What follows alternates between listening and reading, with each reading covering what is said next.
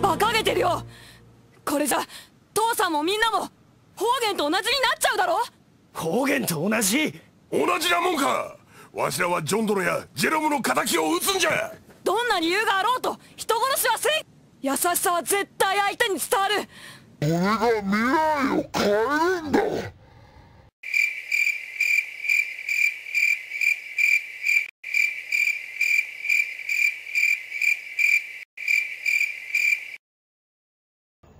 だあこれ